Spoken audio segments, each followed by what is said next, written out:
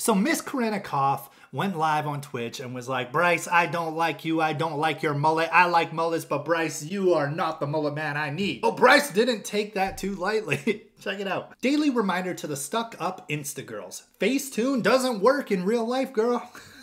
By the way, Corinna Kopf, my tweet at you was a joke, buddy. You didn't need to go air me out on your Twitch stream. Just remember, what happens in Vegas stays in Vegas. That's why she flew to Vegas when I was 17 and she was 21 to dot dot dot never mind. So is he calling Corinna Kopf a Zoe Laverne? Well, I think this is only the beginning. I'm sure things are about to get real messy. So I suggest you guys subscribe because I'm gonna stay up to date with everything. I mean, Corinna, if you flew to Vegas to see Bryce when he was 17, you're only 21, girl, you don't even deserve a mullet man in your life. Anyways, check out the second YouTube channel I have with my girlfriend as well, guys. We have a new video coming out very, very soon um, yeah, it'd be dope if you guys subscribed and you know watched our weekly uploads. They're funny. I'm telling you, they're funny.